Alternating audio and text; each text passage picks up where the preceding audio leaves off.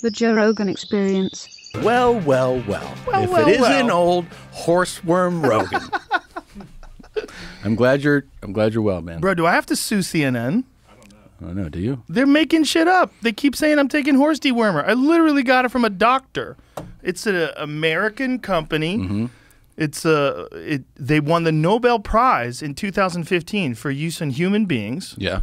And uh, CNN is saying I'm taking horse dewormer. Yeah. What? So They must know that the, that's a lie, There's a lot of people saying it. right? But a lot of people can say it. Okay, yeah. Like the internet says it. Who cares? sure, but, But it's, CNN is saying it. Like Jim But Acosta. I meant like other, like USA Today, a few other like yeah. places, and they're talking of, people. of, about ivermectin, right? Yeah. So what? Because I don't know. I just saw so much news Yeah. about you. I mean, I would talk to you and, and check on you and see if you're all right. And you're like, you you you threw the kitchen sink at it. You said, Yeah. which was stuff that you know you took IV drips and was it mono what mono Monoclonal antibodies. and that what is monoclonal antibodies? It's the shit they gave Trump. Okay. Yeah. And then what? So who said, or did you already want ivermectin? Like, Well, I had this guy on, Dr. Pierre Kory, and he is uh, what is the organization he's from? Frontline crit- COVID critical care workers. Yeah, He's a well-established doctors treated thousands of people with COVID, and they've uh, the, early on the pandemic they found some good uh, efficacy with uh, with with um, ivermectin. Frontline 19 Critical Care Alliance. okay, Yeah. Um, so I had him on, and you know he had talked to me about. It's not. He's not the only doctor that told me to take it. Multiple doctors told me to take it. Mhm. It's uh, it's supposed to have uh, what is the exact thing it's supposed to do? There's there's something that I highlighted. Um, th- and this is obviously I'm not a doctor. It says ivermectin was found to be a blocker of viral uh, replica- replicase, R E P L I C A S E protease, and I don't know what this word is. Human TMPRSS2. I don't know. But what they didn't highlight Yeah. is that I got better. yeah, you got better quickly. They tr- try to make it seem as if like I'm doing some wacky shit that's completely ineffective. And Right. CNN was saying that I'm a distributor of misinformation. Also, that was the other thing that happened. The um, in Tokyo, in Japan, which is apparently uh, they're very conservative about the medication that they they use and the medications that they uh, endorse. But the Tokyo Medical Association chairman held a live press conference recommending ivermectin to all doctors for all COVID patients. So what's going on with the like the you know it's kind of hard to, to figure out what's the truth in, in a lot of things, but with with regard to this, people go, it's insane to take ivermectin. Like you see it everywhere. Everyone's like, this is wild. Don't take this shit. And then you have the head of the fucking Tokyo whatever medical commission saying, take ivermectin. Yeah, Like, I don't know I don't- what's going on, man. You know, there's a lot of speculation. One of the speculations involves the um, emergency use authorization for the vaccines. That in order for there to be an emergency use authorization, there has to be no treatment for a disease. right. So because there is this treatment in, in ivermectin, and there's other treatments too Right. um, because of this, there's a lot of pushback against potential treatments and pretending that they don't really work or that they're conspiracy theories. Mm-hmm. This is the this is the grand conspiracy, right? The grand Right. conspiracy is that the pharmaceutical companies are all in cahoots to try to make anybody who takes this stuff look crazy. But what's crazy is look how better I got. Yeah. I got better pretty quick, bitch. Let's go to like your your whole experience. So you get back from a trip, right? And is- is it that night? Do you arrive home and know, or like on your way home, you're like, I don't feel so great. Um, well, Saturday. Here's what happened. Friday night, we went out and got hammered. Went out and played pool till three thirty in the morning. Had a, a bunch of drinks. Had a br- bunch of drinks at the show. At the show, I think I had two drinks, and then I had like four afterwards. So Yeah. we're pretty lit. Yeah. And it was three thirty in the morning. Exhausted. Plane travel. You know, flew that day from. Um, I guess so. Fort Lauderdale was the first show. Then that was Tampa, and then last show was Orlando. Um, that night I just I was worn out. Friday night, you know, because three thirty in the morning, and I was like, Yeah. "Oh, I gotta crash." And then I woke up in the morning, and I was definitely hungover, but I was also just feeling a little out of it, just Mm-hmm. a little, just a little, just not good. It's hard to describe. If I had COVID, it was just like beginning stages, but I thought it was a hangover. Right. Which kind of confuses Yeah. the way how you can read it. So drank a lot of water, um, ate, took a bunch of vitamins, went to sleep, got up for the show, felt good.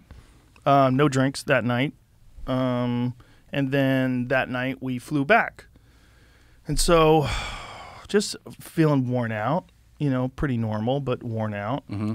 And then when I got home, I was like, man, something just feels off. So I told my wife, you know, you should probably um, keep away from me. Let me isolate. Luckily, we have a big house. I Mhm. isolated. And in the middle of the night, I was sweating. You know, would get fevers, and I just I wasn't feeling good. And you knew it then? I woke up in the morning. I knew it. When the morning, by the time the morning, I was like, something's going on. Let's see what it is. It was ninety whatever percent sure it was COVID.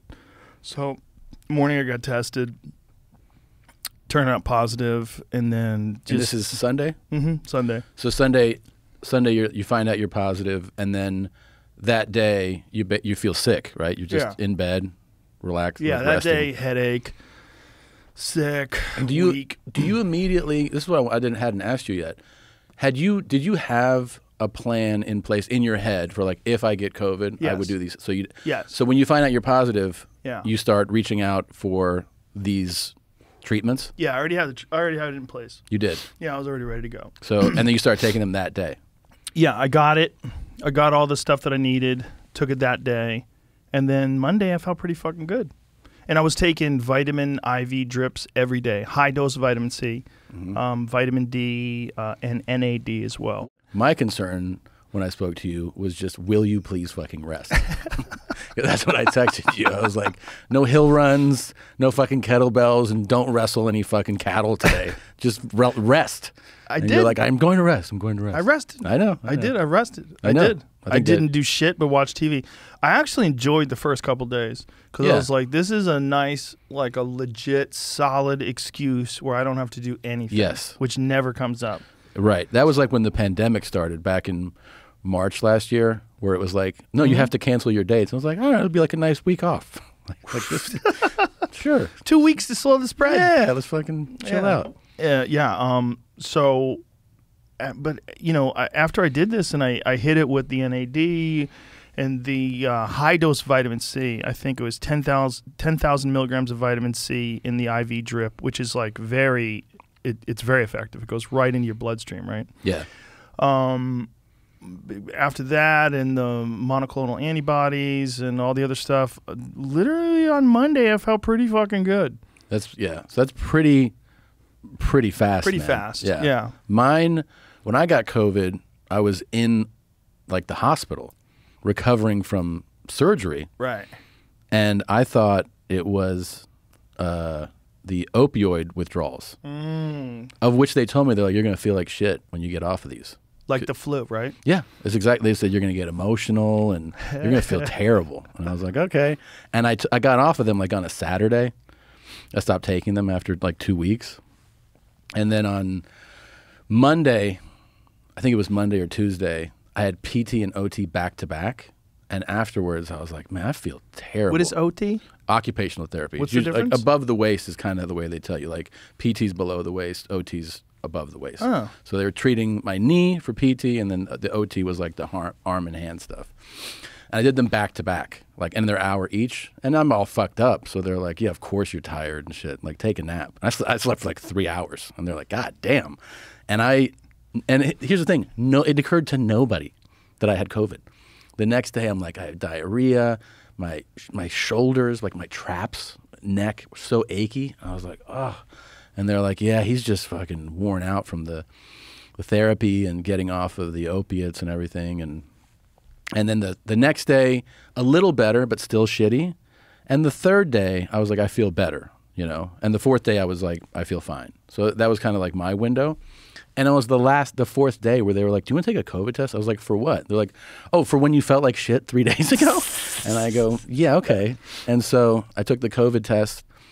And my favorite is that they're like, uh, do you want same day results? And I go, yeah. And they go, it's expensive. And I go, this fucking hospital stays expensive. What are you talking about? Like, Right. this is thousands of dollars a day. You think I, I don't want to spend a hundred dollars more to find out today? So I said, yeah, let's do same day. And then they tested. And at the end of the day, I go, where's my result? And they're like, we don't know. so the next day, I'm going home, and it's it's it's a Saturday, and they're taking me home. And I was like, hey, whatever happened to my fucking COVID test? And now I feel like totally fine. And they go, uh, I don't know. I'm gonna call the lady that took the test. And I was like, what the fuck? So crazy. So I get home, I watch a movie with my kids, Oh no. and the email goes ding, and I open it and it says positive. That's how I found out. So you're fucking super protected. Yeah. Because, because they showed uh, there was a study that showed that if you've had a previous COVID infection, you're six to thirteen times uh, more protected than you are with just a Pfizer. Yeah, I tr- I, you know, I gave up the argument. I was arguing with my cousin, who's an ID doctor, What's an ID doctor? infectious disease doctor. So this is what she treats. She's in the hospitals, you know, every day. And uh, she was like, when the Delta variant came out, she was like, this thing is no joke. She's like, this is all I'm seeing. You have to get vaxxed, especially if you're going on tour. I was like, Mm. I was like, well, what about and whatever? I was like, fine, I'll just go. Yeah. went. Well, it didn't bother you. Yeah, it didn't bother me. I'm still um, doing that. like I'll still h- hawk, hawk up little green shit Yeah. here and there. You're what, a week out? Uh, a week yesterday. Yeah. Yeah. Yeah. It's not that long. But it doesn't feel bad. Yeah. Like, and uh, you were I had a to, you great workout you today. today? Yeah, I had a great workout today. Felt great. This that's my second workout. I had one workout two days, three days ago, three days ago. Um, then took yesterday off, and then worked out again today. Yeah. No problem at all. Just feel completely normal. Great. Yeah. And your breathing's fine. Yeah, except the the hocking The up hocking little, up, yeah. but it, they're little ones. How little, crazy little is green you, things. or maybe you're f- immune to it now from having so much public scrutiny, but like having people wish you got sicker. Isn't that crazy to you? I you? didn't pay attention.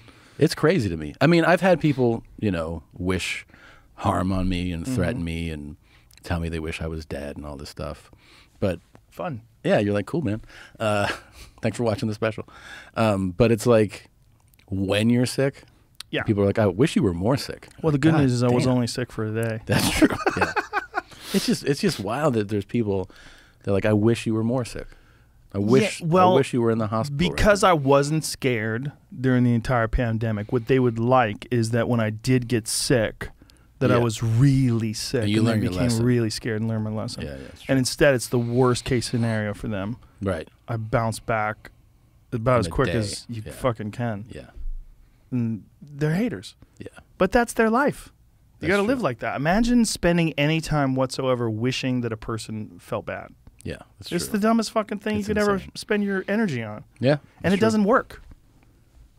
You can't. No. It doesn't. It doesn't make people feel worse. You're like, God, I wish so hard. He's okay. so crazy. I, I, you know, I'd heard that that was going on, but I didn't pay attention to it. It's like, you know, they're weak bitches. Yeah. You stay salty. Yeah. We're doing all right. Everything's fine. Yeah. I'm doing pretty good. But meanwhile, I don't have a bad message. My message is be healthy, and obviously, there's, there's some merit to that. You know, and merit to being consistently healthy. You know, the end. it- it- Here's a message. The the thing that fucked me is drinking. I think that really fucked me. Yeah. I bet if I went home early, went to the hotel early Friday night, and got sleep like I normally do, I, I bet it would have never got me. You think so? Yeah, I was hammered. We are out playing pool till, like I said, three thirty in the morning. and you know I love playing pool, so Yeah. I'll play pool till I'm fucking exhausted. Oh my God. I went on a trip with you once. Dude. It was like stand up to pool to to the whole next day. Like you're like, I didn't go to bed. You got back at like nine AM and then we went out to breakfast. I was like, What are you talking about? you're fine. I was like, No way, dude.